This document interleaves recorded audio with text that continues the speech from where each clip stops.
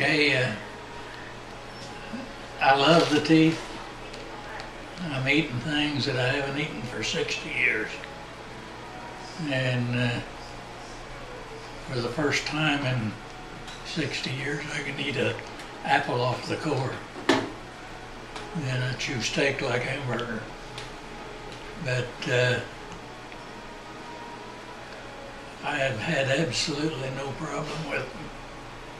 And uh, eat anything I want.